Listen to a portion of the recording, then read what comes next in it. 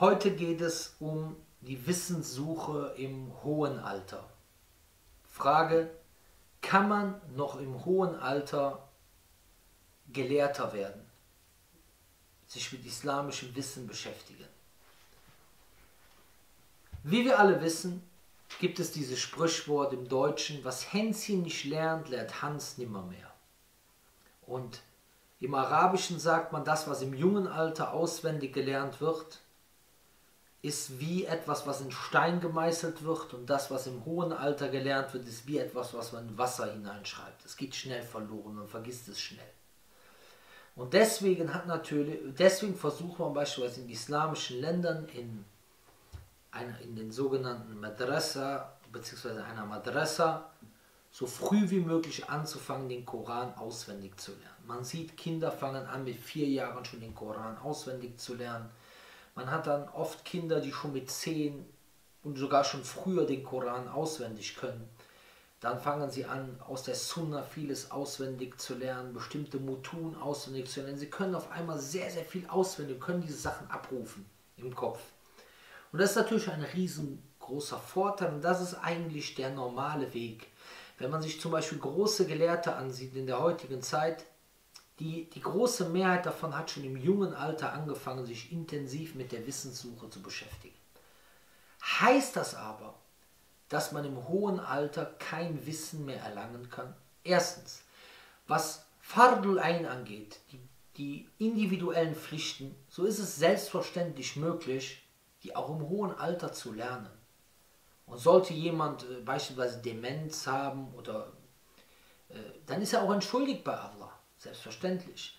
Aber die grundsätzlichen Pflichten, der Islam ist eine einfache Religion. Der Islam ist keine komplizierte Religion, weil einige Leute, ähm, die, die, die zur Wissenssuche motivieren, aber gleichzeitig eigentlich unbewusst demotivieren, die machen so kompliziert, dass die Leute sagen, boah, ich bin so klein, das kann ich ja niemals schaffen. Ich habe mich beispielsweise gewundert, ich habe oft mit Studenten gesprochen, die im äh, arabischen Ausland studieren und ich habe dann öfter mal gesagt, inshallah wirst du ein Gelehrter wie der und der. Der studiert gerade in einer Universität oder einer Adresse, sagt er, ach, das schaffe ich doch niemals. Wie kommst du darauf, das niemals zu schaffen? Du bist 25 Jahre alt und sagst, das kann ich niemals schaffen, du bist doch schon hier. Wer hat dir diese, wer hat dir diese Barriere in dein, in dein Gehirn reingesetzt?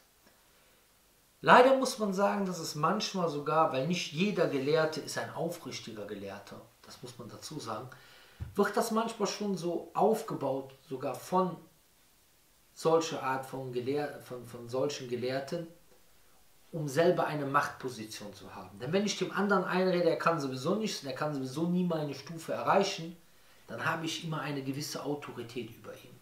Aber ich sage euch, lasst euch so etwas nie einreden. Warum? Weil Allah sagt, in Tansurullah insurkum. Wenn Allah euch hilft, so wenn, wenn ihr Allah helft, so wird er euch helfen.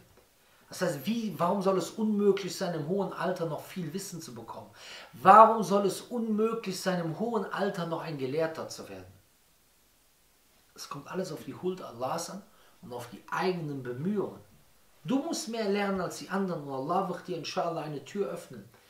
Und es gibt realistische Beispiele hier, es gibt realistische Beispiele aus von Gelehrten. Beispielsweise Ibn Hassan Andalusi, es wird gesagt, er hat erst mit 28 Jahren angefangen, ein Talibul Ilm zu werden, ein Student der Islamwissenschaften. Erst mit 28 und er ist der Gründer einer Rechtsschule. Er ist der Gründer einer Rechtsschule. Das muss man sich mal, das muss man sich mal vorstellen. Dann sehen wir Ibn Khuzaymah. Ibn Khuzaymah hat mit 40 angefangen, Talibul Ilm zu werden. Das ist einer der großen Hadith-Gelehrten. Einer der ersten, der ein Sahih-Werk, nämlich Sahih Ibn Khuzaymah, geschrieben hat. Und wenn wir uns die, ähm, die Biografien von großen Gelehrten anschauen, dann sieht man, dass sie oft schon große Gelehrte gewesen sind, nachdem sie 20 Jahre gelernt haben. Heutzutage ist die Lebenserwartung viel größer, viel, viel größer oft als früher. Sehr häufig viel, viel größer als früher. Ähm, wo, wo, wo, oft Gelehrte beispielsweise nur 45 Jahre alt geworden sind und waren aber schon vor 20 Jahre Gelehrte, die haben vielleicht 15 bis 20 Jahre studiert. Das heißt, du kannst es schaffen. Du kannst es wirklich schaffen mit viel Mühe, wenn du dich heransetzt. Du bist beispielsweise 20 Jahre, 30 Jahre oder 40 Jahre. Du kannst mit 40 Jahren jetzt anfangen und sagen wir mal in 20 Jahren, mit 60, wenn Allah dir die Zeit gibt. Aber vielleicht stirbst du vor, aber du hattest die Absicht gehabt, für Allah ein Gelehrter zu werden. Warum nicht? Jeden Tag ein Stück vorwärts gehen. Jeden Tag. Wenn du vielleicht nicht das auswendig lernen Vermögen hast, so hast du vielleicht ein besseres Verständnis als jemand, der mit vier, fünf oder sechs anfängt, etwas auswendig zu lernen. Weil du mehr Lebenserfahrung gesammelt hast. Deswegen, meine mein Aufruf ist immer, sich nicht entmutigen lassen. Lasst euch nicht entmutigen. Möge Allah euch allen helfen und selbst wenn ihr schon älter seid, auch für die Frauen. Ja, weil das ist auch so ein Ding. Ähm, da sind vielleicht Frauen, die sitzen zu Hause, ach, ich kann das nicht mehr, ich schaffe das nicht. Es gibt auch Gelehrte, die den Koran nicht auswendig konnten. Sheikh Mukbil beispielsweise konnte den Koran nicht auswendig. Ich habe sogar gehört, dass Sheikh al-Albani den Koran nicht auswendig konnte. Das, das, haben mir bestimmte Schüler gesagt, die in Jordanien studiert haben. Ich weiß es nicht hundertprozentig. Aber das ist keine Bedingung, um, die, um ein Gelehrter zu sein. Ist es nicht. Es gibt, äh, man, man, sagt, man, es gab viele Sahaba, die, die großes Wissen, aber den Koran nicht auswendig konnten.